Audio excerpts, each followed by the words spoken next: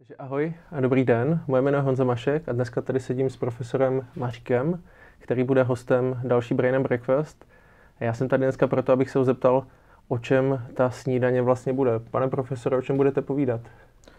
Tak já celý život jsem spojen s výchovou, s výukou na ČVUT a také žiju druhým životem, pracuji vždy v nějakých podnicích nebo v nějakých institucích průmyslové praxe.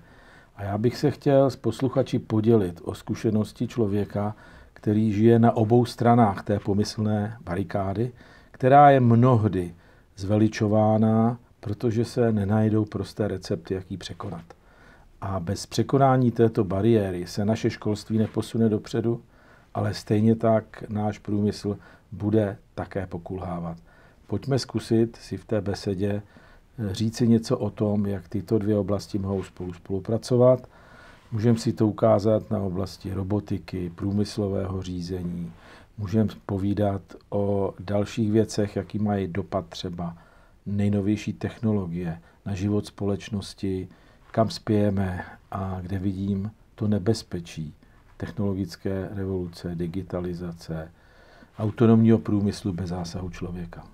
Tak jo, moc díky. Já se moc těším, věřím i vy. Mějte se krásně, ahoj. Naschledanou. Naschledanou.